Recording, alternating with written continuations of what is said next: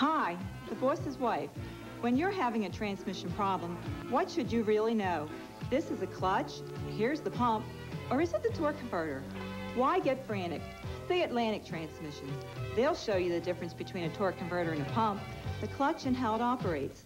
They have convenient locations and a nationwide warranty. So remember, when your transmission is out of commission, don't get frantic. Call Atlantic Transmissions. At Atlantic Transmission.